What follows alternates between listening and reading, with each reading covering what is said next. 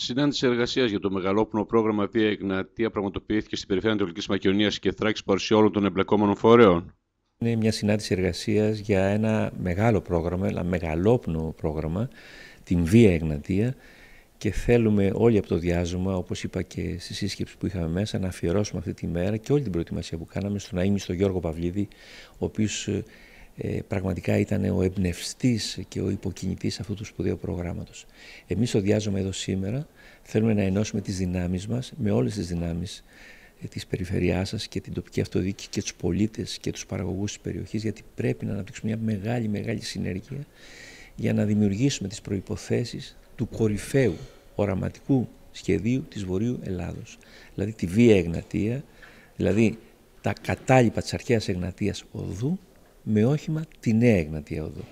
Το καινούργιο που φέρει αυτό το πρόγραμμα είναι ότι δεν αρκείται μόνο σε έργα υποδομής για τους σπουδαίους περιβαλλοντικούς και πολιτιστικούς πόρους που έχει η περιοχή, μια ιστορία χιλιάδων ετών δηλαδή, αλλά συνδέονται αυτές οι υποδομές με τη ζωή, την παραγωγή των ανθρώπων, με, δηλαδή με τον πρωτογενή τομέα, με την τουριστική οικονομία, με τη γαστρονομία της περιοχής, με τις νεοφυείς επιχειρήσεις, με τις μικρομεσαίες επιχειρήσεις και όλο αυτό το σχέδιο φιλοδοξεί να φέρει τα μνημεία στο κέντρο της ζωής, στο κέντρο της αηφορίας, στο κέντρο της βιώσιμης ανάπτυξης. Να ευχαριστήσω πραγματικά τον κύριο Μπένο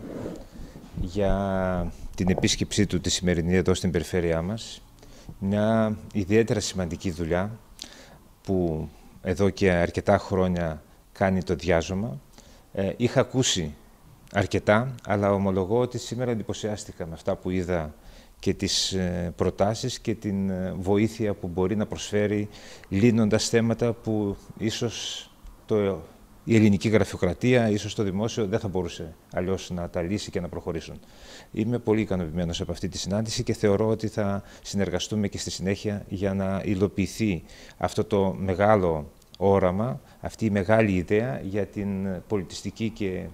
τουριστική ανάπτυξη στα πλαίσια της αρχαίας Εγνατίας Οδού, ε,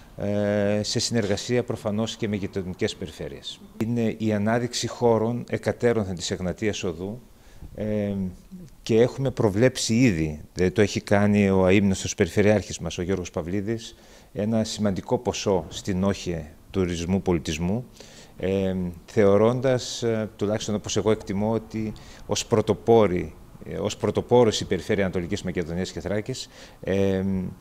προς την κατεύθυνση αυτή και στη συνέχεια βλέπω ότι και το Υπουργείο Πολιτισμού και ο ΕΟΤ και άλλες υπηρεσίες, ίσως μετά την ε, δουλειά που παρουσίασε και ο κύριος Μπένος, δείχνουν ενδιαφέρον για μια συνολική αξιοποίηση της ε, Εγνατίας Οδού από, ε, σε, σε όλη τη διαδρομή της.